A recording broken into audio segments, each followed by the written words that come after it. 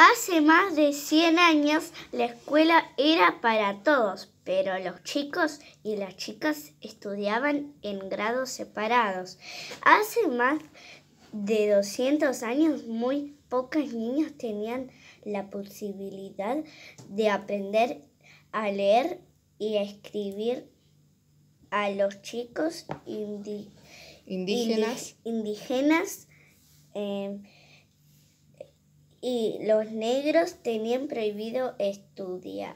Entonces, ¿qué significa esto? Que las chicas, las nenas, estudiaban en un aula y los chicos, los varones, en, en otra aula, no los mezclaban, así estudiaban antes. Eh, eran esclavos. No, y aparte, los chicos que eran eh, indígenas y los chicos oscuros no tenían derecho a estudiar, no podían estudiar. ¿En serio? Sí.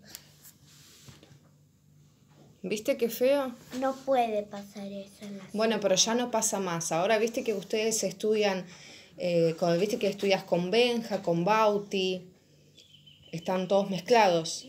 Y también hay chicos oscuros. Con Bruno, también. Claro. Ahora todo el mundo puede estudiar. Los chicos de color, eh, cualquier persona del mundo puede estudiar. Antes no pasaba eso. ¿Entendés? Sí.